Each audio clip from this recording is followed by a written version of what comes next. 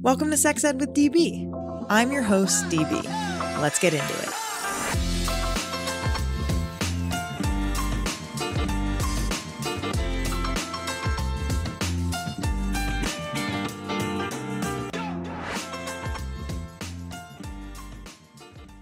Hi everyone, DB here. I wanted to do a little mini-sode for sexual health professionals who listen to this podcast or people who are aspiring to be sexual health professionals. And the main topic that we're diving into today is essential for aspiring sexual health professionals, whether you're an educator, a content creator, a coach, a sex therapist, uh, basically anything in the sexual health sphere. Um, maybe you teach in the classroom, or maybe you want to create content on the internet. Um, this is for you. So, the topic that we're diving into today is how to cultivate your brand and make a living in this vital field. We're going to talk all about creating your brand, what's important, and how I actually do this. Like, how do I make Sex Ed with DB a six figure business? I'm going to share all of those tips with you. And so, whether you're just here starting out or looking to refine your approach, I have some practical insights to help you thrive. So let's kick things off with the foundation of your journey, which is cultivating your sexual health brand. Uh, your brand is more than just a logo, right? It's more than just colors, it's your voice, it's your values, and how you connect with your audience. Authenticity is really, really key here. So it's important to really share your story, your unique story that only you have, and let your personality shine through because people really want to connect with the real you. Next up, relationships really, really matter in this space. Building connections with other brands and sponsors in the sexual health space can really propel your career forward, like it has mine. Collaborating with like minded professionals, attending events, and engaging in conversations online is also really, really important to building those authentic relationships. Don't be shy about reaching out. I use this approach of cold DMing constantly, every day, literally at least once a day I'm DMing someone new who I want to collaborate with, whether that's an illustrator or uh, uh, someone who I want to have sponsor the podcast, or it's someone who's a sex educator and I just really like their work. Like networking is crucial. So make sure to prioritize that.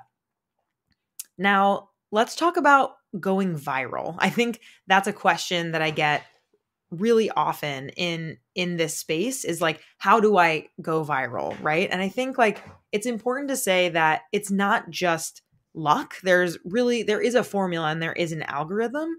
And so focusing on creating content that resonates with your audience it's important to use whatever superpower that you have. For us i think for sex ed with db i really like using humor relatable experiences and really timely topics to get people interested in the content. But that might not be what you're interested in. Maybe you're interested in more so talking about the news or policy or things that impact pleasure or being silly or reacting to, you know, crazy things on the internet like Drew Afualo. I'm sure all of you have seen her, like the queen that she is. So, engaging visuals and catchy captions can also help your posts spread to as many people as possible. Now, let's talk about growing your audience. Um, to grow your audience, you're really going to need the right tools. And so, using analytics platforms to track your engagement to understand what content performs best is really, really critical, right? Like, if we are doing the same mistakes over and over again and not learning what the analytics and the data show, then how are we going to expect to get better, right? So, like, leveraging social media scheduling tools and maintaining a consistent posting schedule like we do at Sex Ed with DB will really, really help you. And really, I'm asking you hardcore, don't underestimate the power of community. Like your followers want to hear from you. They want to hear from you in their DMs and their comments. Creating conversations can be a really important way that you can grow your following and get those super fans. But what about burnout? This is something that I think is really important to talk about um, content creation can be really draining. I know for myself, waking up every morning and feeling like, oh, I have to create something every single day, like that feels overwhelming to me. So it's important to set boundaries, to schedule breaks, limiting your work hours, and not feel pressured to post every single day. Uh, quality over quantity is crucial, and your audience will really appreciate the care that you put into your content rather than just getting something out there that you don't really believe in. Um, for sex ed with DB, of course, sometimes it can feel like, oh, uh, this isn't as strong as another piece of content. But do I think this is funny? Do I think this is sending out a message that I like? Like, as long as I'm checking those boxes, I feel comfortable putting out the content that we're we're putting out. So speaking of quality, you know, this is all kind of like wrapped up in like cultivating your brand and really like ensuring that your your brand is saying and doing what you want it to do in order for you to make a living doing what you want to do. And so part of that as we I kind of mentioned a little earlier is like staying authentic, right? So sticking to your brand values and mission is really really important.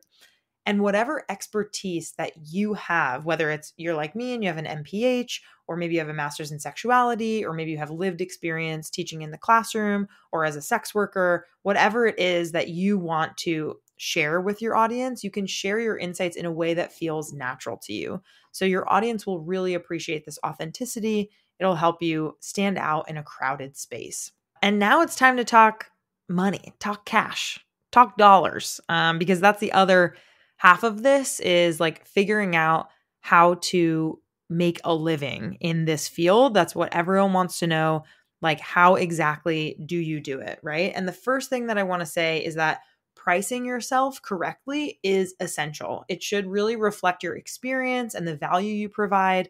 I highly recommend assessing your skills, the demand for your services, and being flexible as you grow in your career. For us, very very much so when i was starting out there was you know $250 that i would offer for an instagram post for example. And as we grew realized that the demand was there. And so play around with your pricing and see what the response is and get a bunch of information from potential sponsors to see maybe some of them say no maybe some of them say yes maybe you're right there in the correct pricing in the middle. But you don't want to price yourself too low. And you if you get the feedback that consistently your prices are too high you might want to bring them down. So make sure to be flexible and experiment here's another crucial aspect to figuring out like what exactly it is or how you can price yourself is again using those data analytics understanding the numbers behind your content can really tell a compelling story and if you track your metrics and see what works and what doesn't you can use that data to inform your strategy moving forward and your price point. So if you're getting a ton of engagement on a post, you can go back to that sponsor and say, "Hey, we, you know, chatted about a $250 Instagram post. This did so well. I think this is now valued at $400 and here's why." And you can explain that with data analytics. Now, when it comes to setting up your business, it's really important to not overlook the details. So make sure that you have contract templates in place, make sure you file your LLC, and keep your bookkeeping organized. And this foundation will save you headaches down the line. So the real question is here how do you make a living as a sexual health expert on the internet? And the answer to that is to diversify your income streams.